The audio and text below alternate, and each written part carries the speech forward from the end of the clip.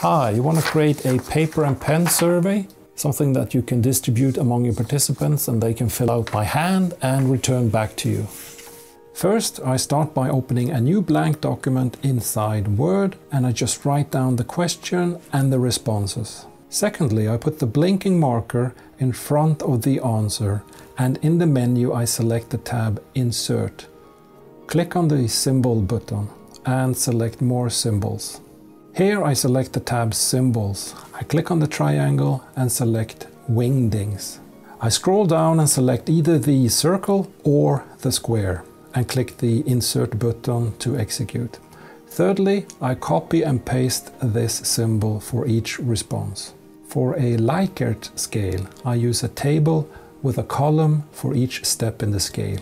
After writing the question, I put the blinking marker where I want to put the scale. I select the tab Insert, click on the Table button, and most often I create a five column table. Then I copy and paste symbols, write down the scale digits and describe the options.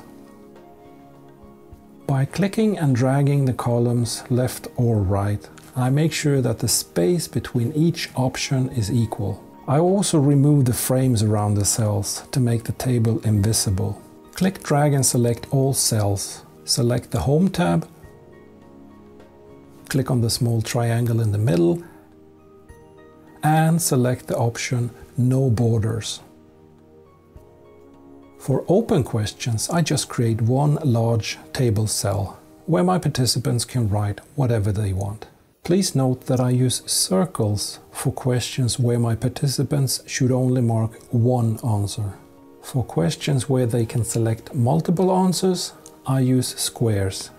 In the method literature, you might sometimes see that the circles are also called radio buttons and the squares are called checkboxes.